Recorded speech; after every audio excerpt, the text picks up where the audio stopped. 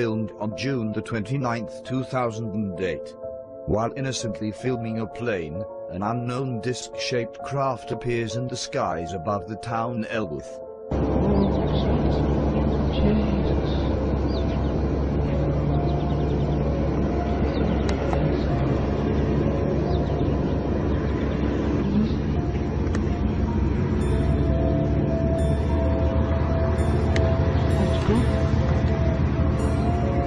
Although multiple witnesses report the sighting to the authorities, no record can be found.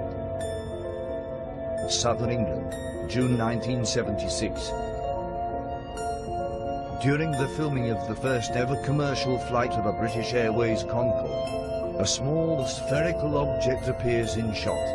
The craft curiously investigates the Concorde, then disappears into the sky at an incredible speed.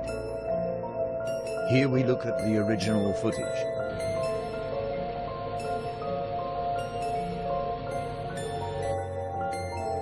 The Kodak company analyzed the footage, claiming the anomaly was due to a flare of the camera. Yet, no video analysis or evidence to disprove this footage has ever been disclosed to the public. Birmingham, April the 10th, 2010. An unidentified object is seen and captured on film by a passing motorist.